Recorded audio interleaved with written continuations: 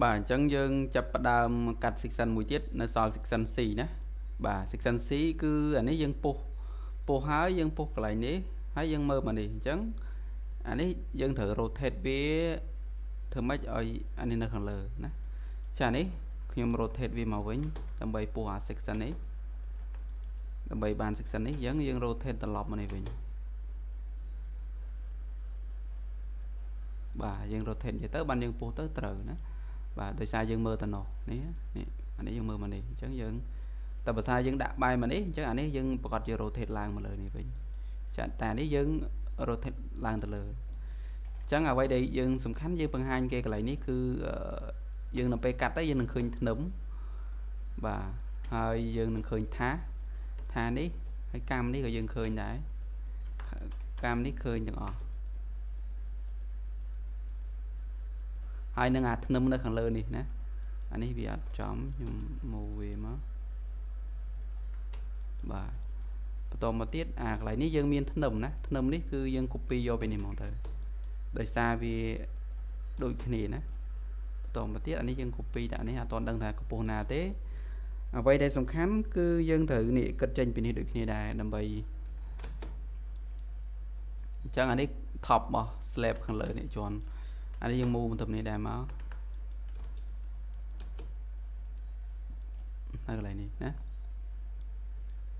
អូខេអានេះវាចាប់ចេញពីកម្មនេះទៅម្ដងទៅហើយបន្តមកទៀត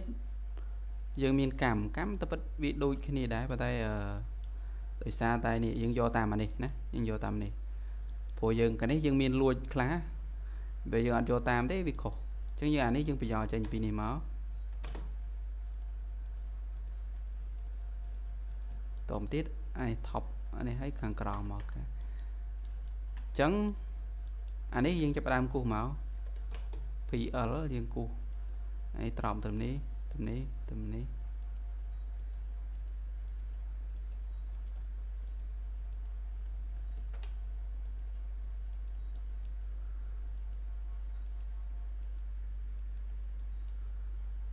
មកដល់មកដល់កន្លែងនេះមក ចឹងអានេះយើងអាច trim បានហើយណាអឺយើងអាចលុបអានេះចោលបានបន្តមកទៀតអានេះតែប៉ិតអានេះកាត់ត្រឹមនេះទៅបានហើយ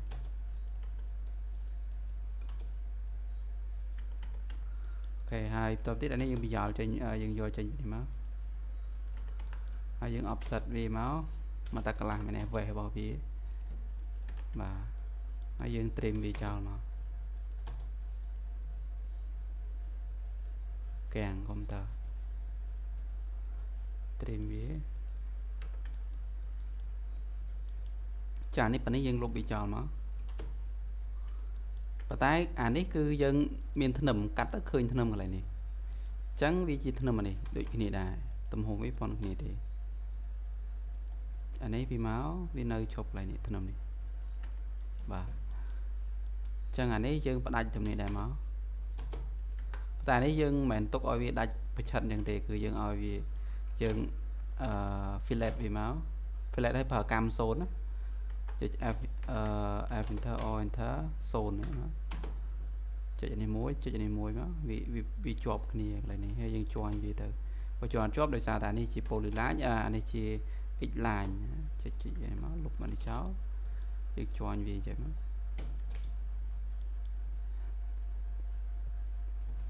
អានេះយើងលុបវាចោលទៅមានអីទៀតទេ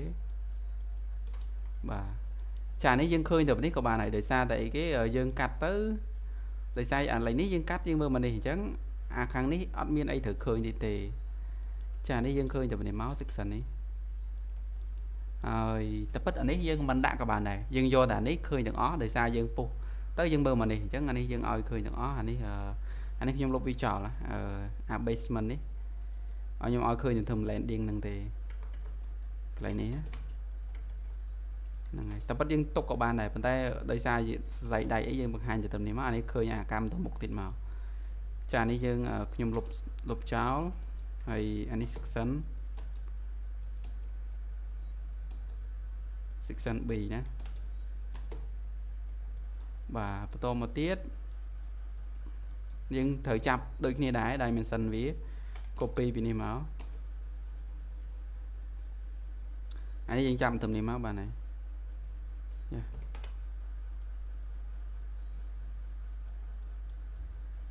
បាទ top របស់វាបន្តមកទៀត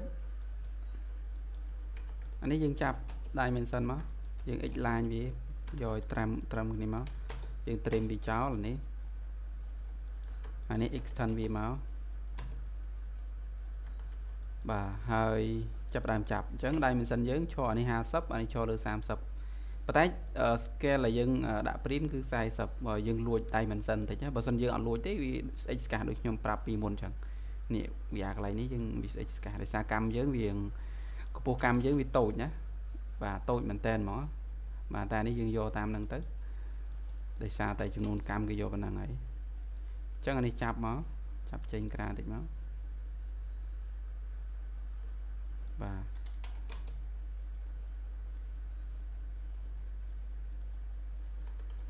តបទៀតយើងចាប់សរុប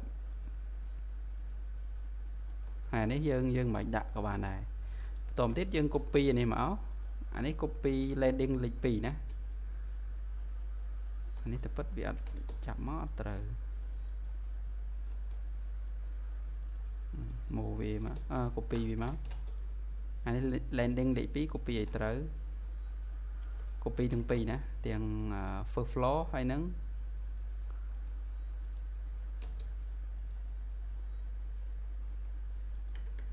ចឹង mirror វាមកបាទត្រូវហើយចាអានេះ landing ទី2អានេះ first floor យើងដាក់ level វាអញ្ចឹងមកគេមើលយល់ ចចាប់វាត្រឹមនេះមកត្រឹមថាសនេះមកយើង match property ឲ្យដូចនេះមកអាបន្តនេះពេលយើង print ទៅឃើញស្រាលស្រាលទេបងប្អូនគ្នា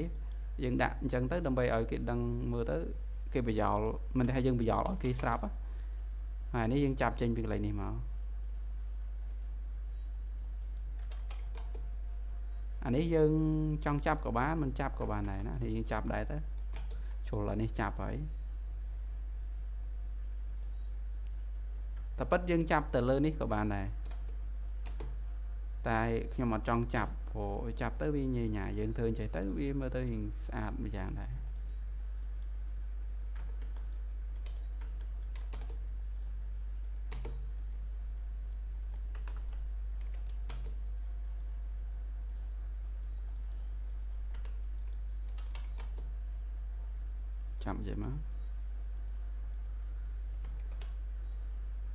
ចឹងអានេះ30ទាំងអស់ហើយ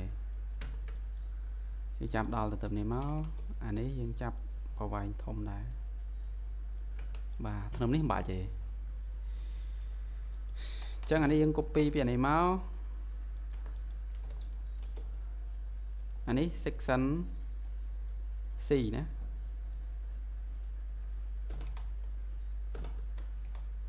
ចឹង section C ហើយហើយ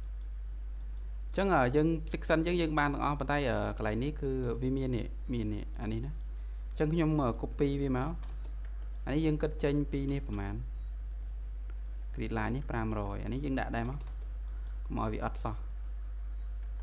អានេះទៅពិតវាជំរុត copy នេះមក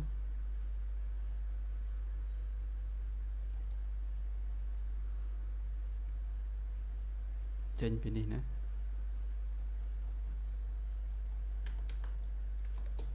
យើងមូចេញពីនេះមក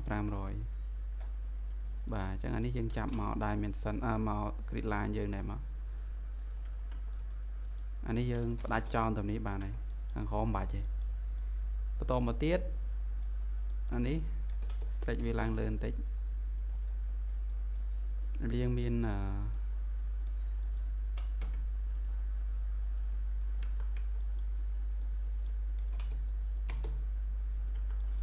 បាទយើងកា ប់ប៉ុណ្ណេះមកអស់ហើយណា section អញ្ចឹងអញ្ចឹងយើងចាប់ដើមគូដៃសិនមកហើយចាំតម្រៀបប៉ុន្តែខ្ញុំគិតថាខ្ញុំគួរតែតម្រៀបវាយើងស្អាតតិចសិនអានេះ layout section ទី1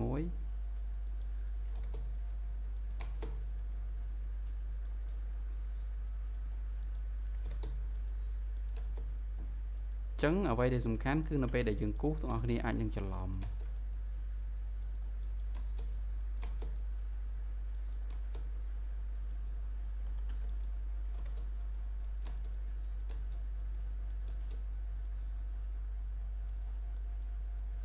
នេះវា load ឡើងលើ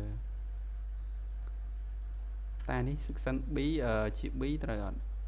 B ត្រូវណាត្រូវហើយបាទប៉ុណ្ណឹងនេះ section C D អញ្ចឹងយើងចាប់ផ្ដើមធ្វើការគូសដែកចដារបស់យើងគឺដែកអានេះដែក10លីណាបាទដែក10លីកម្លាតរបស់វាគឺ មួយទឹកណាបាទមួយទឹកមួយកម្លាតរបស់ដែកចដាយើង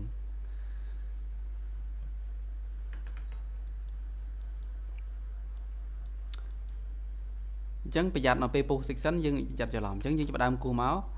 អញ្ចឹងអាដៃនេះដោយសារតែវាវាវាពឹងធ្នឹមនេះវាវាវាត្រធ្នឹមនេះណាប៉ុន្តែកន្លែងនេះយើងគួរតែឲ្យគេដោយសារវាជាធ្នឹមរបស់ចដាល ធ្នឹមហ្នឹងគឺគេសង់ជាមួយនឹងចដាលហ្នឹងតែម្ដងអញ្ចឹងយើងគួរតែមាន section ធ្នឹមនេះមួយណាបាទអញ្ចឹងយើងត្រូវទៅគូស section ធ្នឹមហ្នឹងមិនថាគូសតាមបដោយតាមបដោយនេះហើយនេះខ្ញុំ copy នេះមួយទៀតមក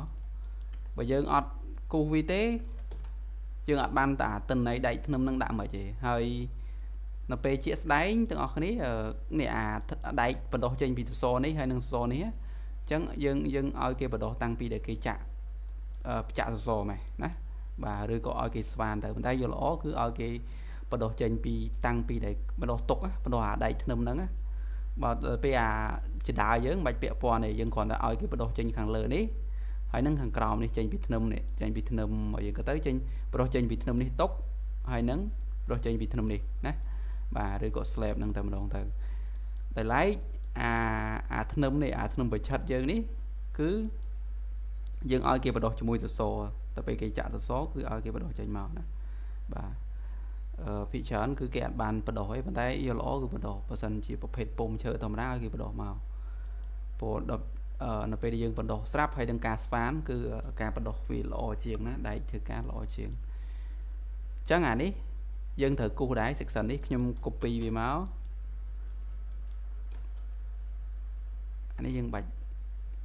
ខ្ញុំដាក់ចេះមកហើយខ្ញុំដាក់បែរមកនេះ section នេះគឺពុះមកមើលមកនេះហ្មងអញ្ចឹងយើងនឹងឃើញសសរនេះផងហើយនឹងឃើញចដាចដានេះចានេះខ្ញុំខ្ញុំនឹងយកមួយនេះណាប៉ុន្តែអានេះបើសិនយើងយកឲ្យដូចអាមួយនេះតំណងជាងត្រូវជាងណាចឹងយើងដាក់ចេះមកអានេះគឺដាក់គោលម្ដងដើម្បីពុះយកយកធ្នឹមតែម្ដងណាបាទដើម្បីពុះឲ្យឃើញធ្នឹមតែម្ដងអញ្ចឹងអានេះខ្ញុំយកអានេះគំរូហ្មងយើង copy មកមិនបាច់ដោយសារវាដូចគ្នាអានេះយើងគ្រាន់តែ section B នេះអានេះ section ដាក់ខ្ញុំដាក់ section D CD ណាបាទវាវាដូចគ្នាគ្រាន់តែថាអានេះពុះទៅឃើញធ្នឹមអានេះពុះកន្លែងនេះអត់ឃើញមានធ្នឹមទេវាចំកដាលហើយយើងមើលមកនេះតែនេះពុះចំធ្នឹមហើយយើងអាចនឹងឃើញចដាលកម្មចដាលដែរអញ្ចឹងយើងយកយកអានេះហ្មងបាទ section D ណា section D ប៉ុន្តែអានេះយើងដាក់ជាបន្ទាត់ដាច់ដាច់វិញហើយយើងមិនបាច់ mention អានេះទេយើងមិនបាច់បង្ហាញកម្មទេព្រោះអាហ្នឹងយើងគ្រាន់តែបង្ហាញធ្នឹមណាប៉ុន្តែតាកតងនឹង level យើងបង្ហាញដូចគ្នាដែរទៅលុបចោលសិនមកបាទអានេះក៏ខ្ញុំលុបចោលដែរបន្តទៀតយើងនឹងឃើញសសរនេះសសរនេះគឺប្រហែល 3ទឹកណាអានេះក៏3ទឹកដែរបាទអញ្ចឹងអានេះយើងគូសមកឃើញសសរនេះចាអានេះយើងមិនបាច់ឲ្យឃើញអានេះក៏បានដែរណាយើងមិនឲ្យឃើញកម្មចដាទេអញ្ចឹងអានេះចាប់ទាញមកចេះមក300ណាយើងនឹងឃើញបន្តទៀតខ្ញុំប្រើ continuous អា break line របស់យើង copy យកពីនេះហ្មងទៅនេះ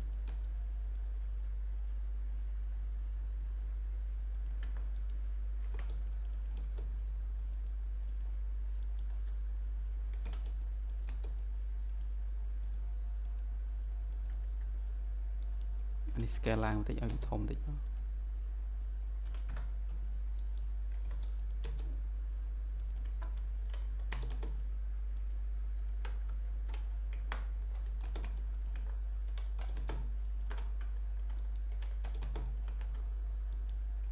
អានេះមកក្រោមក៏វាមាន break line ដែរទៅសយើងខ្ញុំអាចបញ្យល់វាយកទៅនេះមកក្រោមតិច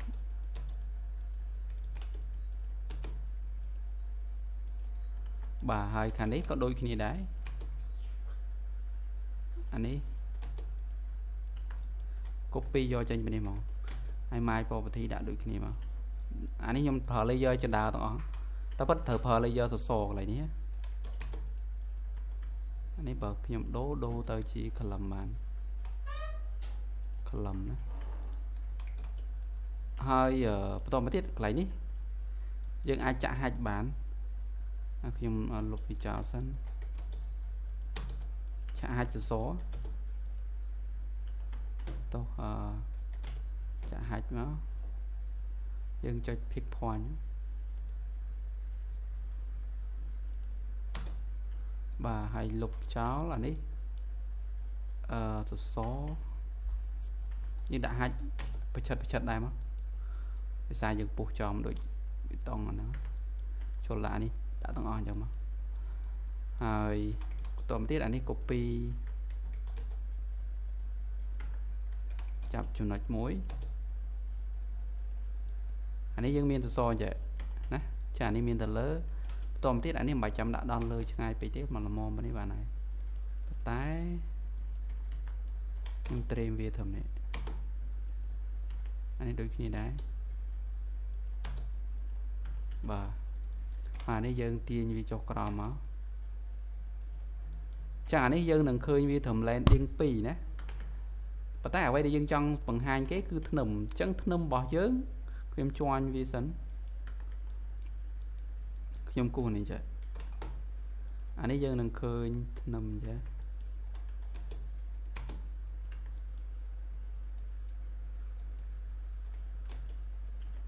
គុំណោខ្ញុំចង់កាត់អានេះចោលហើយខ្ញុំចង់ជួញនេះអានេះតែពិតអានេះគ្រាន់តែជាអឺកម្រាស់របស់នេះអាមកទឹកកន្លះនេះកម្រាស់របស់ចដាទេប៉ុន្តែធ្នឹមរបស់យើងគឺនេះ ធ្នឹមរបស់យើងគឺ4ទឹក4ទឹក3ទឹកបងប្អូននេះ4ទឹកអញ្ចឹងធ្នឹមរបស់យើងយើង offset មកយើង offset គិតចាំគិតត្រឹមនេះអញ្ចឹងយើង offset 4ទឹកមកបាទយើង offset ប៉ុណ្ណឹងមកនេះគឺជាធ្នឹមហើយអញ្ចឹងអានេះយើងគួរតែនេះដាក់ section D មកវ៉ាអឺ D ណា section D នេះយើងគួរតែទាញចុះបន្តិចដែរមកវ៉ាវនេះតតែចាក់ហាច់ថ្មី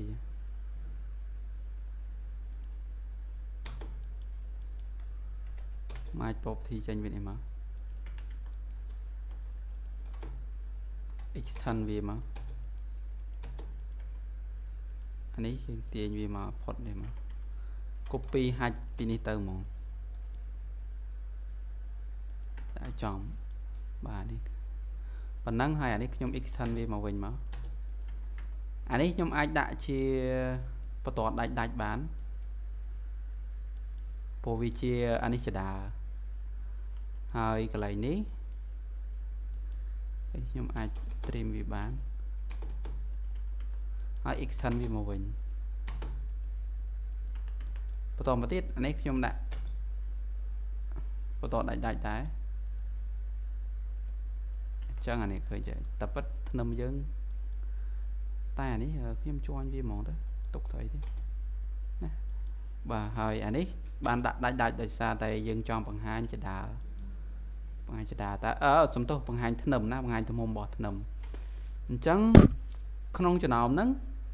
ធ្នឹមរបស់យើងមុខកាន់វាដូចគ្នាទេបើយើងគិតទៅវាចេះបើយើងវាស់មកអញ្ចេះគឺចេះនេះណាធ្នឹមរបស់យើងអញ្ចឹង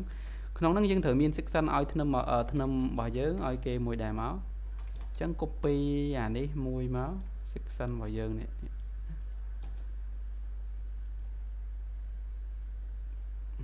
copy ដាក់កន្លែងនេះមួយមក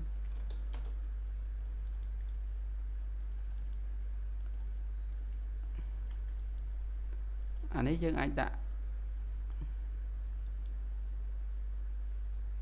នេះខ្ញុំ copy យកនេះ អត់ចង់បានអា trade ហ្នឹងឯងអញ្ចឹងខ្ញុំ rotate វាសិនមក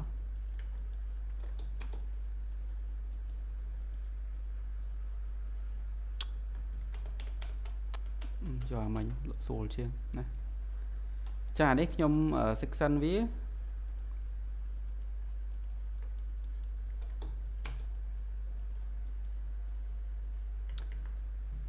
បាទ section វាខ្ញុំដាក់អឺ B1 ណា sun D1 ណាបាទដាក់ section D1 បន្តទៅទៀតយើងគូស section នឹងឲ្យចេញហ្មងអញ្ចឹងពេលពោះទៅអានេះគឺជាធ្នឹមហើយអាខាងលើហ្នឹងគឺជាថាសរបស់ចដាហើយអាផ្សេងដូចគ្នាទេមកកាត់អានេះ200ខ្វែងជាមួយនឹង400ធ្នឹមអឺធ្នឹមរបស់យើងណាហើយបន្តទៅទៀតយើងដល់ពេលយើងពុះទៅមើលមកនេះយើងនឹងឃើញមានខាងនេះដូចជា slab របស់ slab អញ្ចឹងឬក៏ slab របស់ landing យើងអញ្ចឹងអានេះយើងគូសចេញមកនេះបន្តិចមកខ្ញុំផ្ដាច់វាចោលហើយខ្ញុំ move វាមក150មានន័យថាហ្នឹងនេះយើងនឹងឃើញតម្រងចេះហើយខ្ញុំ copy អា break line នេះមក rotate យ៉ាតបទៀតខ្ញុំ scale តម្លាក់វា កន្លះទៀតមក0.5 move វាបាទខ្ញុំ match property ឲ្យដូចគ្នាមកតបទៀតខ្ញុំកាត់អានេះចោល extend វាវាจะប្រើបន្តទៅមួយហើយជាន់វាមកបាទចានេះគ្រាន់តែ section របស់យើងអានេះខ្ញុំប្រើ scale មួយលើ10អានេះ40 scale តម្លាក់មកអានេះ scale 1លើ15អញ្ចឹង15ចែកឲ្យ40ណាប៉ុណ្ណឹងមកអញ្ចឹងអានេះ B អានេះខ្ញុំដាក់ B តំណាងឲ្យធ្នឹមណាដល់ពេលខ្ញុំដាក់ T គឺតំណាងឲ្យចដាដល់ពេលអានេះ section របស់វាគឺ section D1 ណា section D1 scale គឺខ្សែសំតោ15ណា scale 15អានេះយើងបានប៉ុណ្នេះតបទៀតយើងចាប់ dimension អញ្ចឹងអានេះឈរលើ50ដដែលអានេះខ្ញុំឈរលើ15មក set current ចាប់ដើមចាប់ dimension អញ្ចឹងធ្នឹមរបស់យើងគឺ cover វាតែ30ឯងព្រោះធ្នឹមហ្នឹង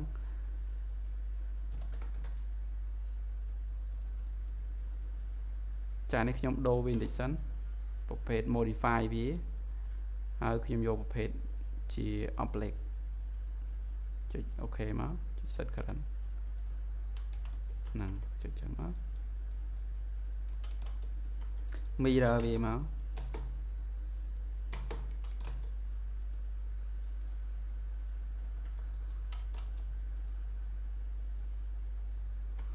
បាទបន្តទៀតអានេះ យើងចាប់ខាងក្រោមម្ដែរមកនេះខ្ញុំទាញវាមកបន្តិចបាទ30ដែរ